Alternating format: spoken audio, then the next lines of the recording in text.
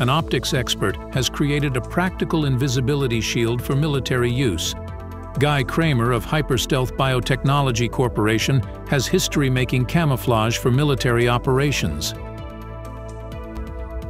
Hi, I'm Guy Cramer from Hyperstealth Biotechnology Corporation. And today I want to talk about invisibility.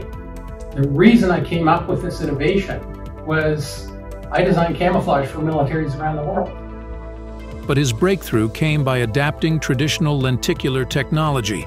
Lenticular lenses create 3D holographic images on everything from trading cards to movie posters. Cramer's idea was to misalign two sets of lenticular lenses. That way, the peak of one lens hits the trough of the other. You're probably familiar with the material. It's called a lenticular lens.